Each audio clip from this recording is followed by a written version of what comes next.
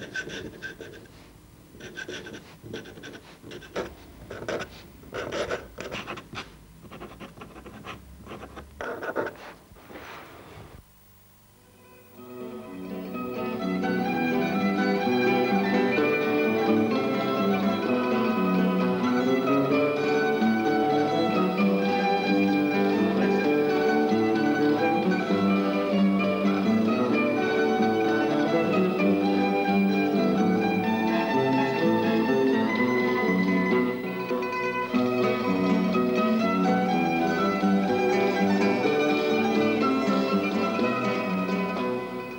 Casa de la Troya. Florinata de las posadas compostelanas. Casa fraterna y amiga en la que habitan los puntos más volantes y más traviesos de la universidad. Rapaces paveros y sentimentales que a veces sufren agobios y penas tiranas y otras veces aman con frenesí y se divierten con vocación. Pero siempre y cada día rinden culto al compañerismo, a la amistad y a la lealtad. Y fervor a la broma y al sano disparate.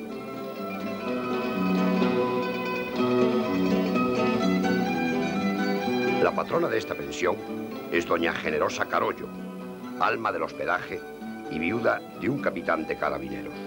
Doña Generosa es simpática, viste el hábito del Carmen, se peina en bandós, calza zapatillas de orillo y es cariñosa, sin oficiosidades ni exageraciones. La lluvia caía sin piedad y la ciudad estaba envuelta en un manto de tristeza cuando llegó a esta pensión Roquer y Paz, don Gerardo. Don Juan, su señor padre, ha resuelto que salga para Santiago a concluir su carrera. Pero poco tiempo duró y lloró Gerardo su desventura, pues trocóla en dulce aventura la bella y encantadora señorita Carmiña Castro Retén.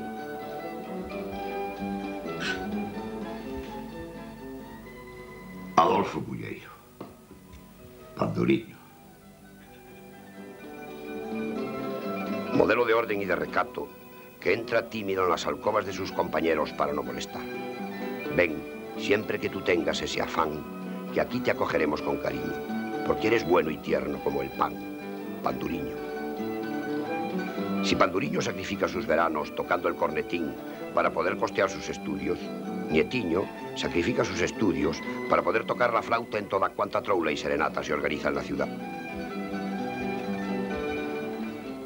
Qué gran tipo y qué gran señor es este Casimiro Barcala. Tan floreciente es su ingenio como poblada es su barba y su bigote. Mariscal arriesgado y romántico de la nave de la Troya, natural de Tui y poeta de tono. Samoiro, el ostrógono, enamoradizo y distinguido coleccionista de aventuras, señor de las empanadas de todos los gustos, fenómeno de la elegancia y dueño de un magnífico guardarropa.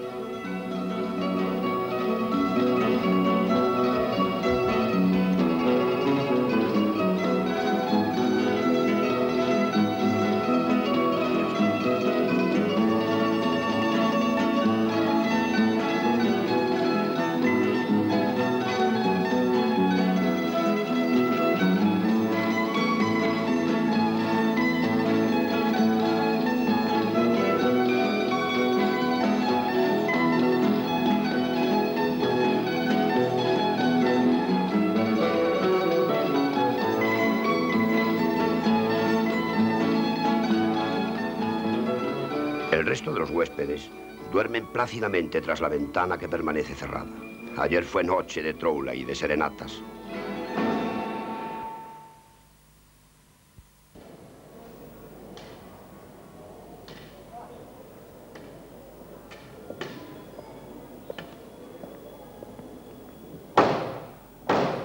Viritiño, Villa Generoso, abren al mundo las puertas de nuestros recuerdos.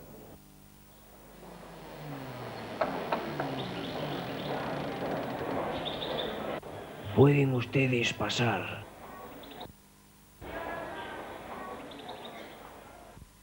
El día 27 de febrero de 1993, gracias al esfuerzo y al entusiasmo de la Asociación de Antiguos Tunos, presidida por don Benigno Amor, y al apoyo y aliento de la Junta de Galicia, Universidad de Santiago y Ayuntamiento de la ciudad, quedó inaugurado el Museo Romántico de la Casa de la Troya.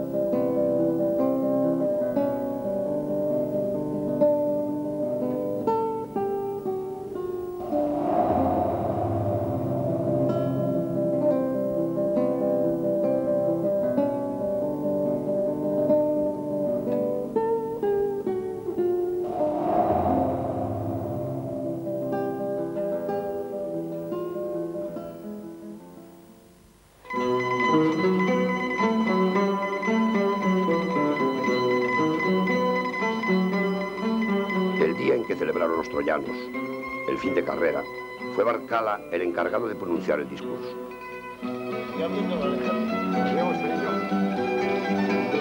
No nos felicitéis, amigos. Compadecednos y dejad que os envidiemos.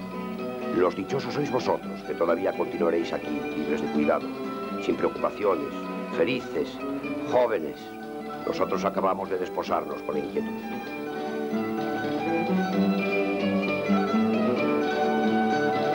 Los trabajos suceden ya al descuidado, no importa, de estos años azules, cuya muerte celebramos estúpidos en vez de llorar. Ya somos hombres. Qué desgracia. Los unos seremos cónsules, notarios otros, esos periodistas, aquellos se aplicarán al cuidado de su bufete. Quizás será el más sabio el que acierte a pedir paz a la quietud de su aldea. Yo ruego a la diosa voluble y arbitraria que preside los destinos de los hombres, que vuelque sobre todos nosotros los dones de su favor. Pero por mucho que quiera protegernos, nunca nos dará tanto como hemos tenido, como perdemos ahora. Podrá colocarnos en las que la imbecilidad o cortedad de vista de las gentes llama cumbres, pero nunca volverá a ponernos tan altos como hemos estado, porque nunca, nunca más, amigos, nunca más seremos estudiantes.